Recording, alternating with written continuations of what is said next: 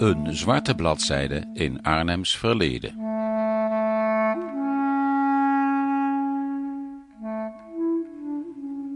Van de 2000 Joodse inwoners die onze stad bij het begin van de Tweede Wereldoorlog in 1940 telde, kwamen er ruim 1300 niet terug.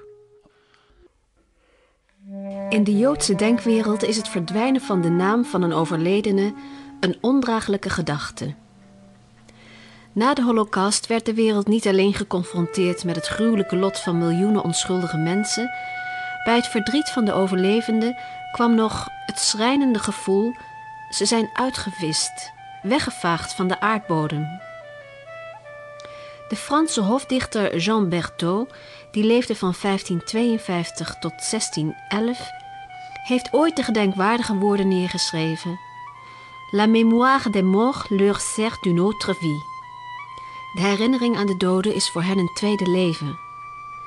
Laten wij hun dan tenminste dit tweede leven geven.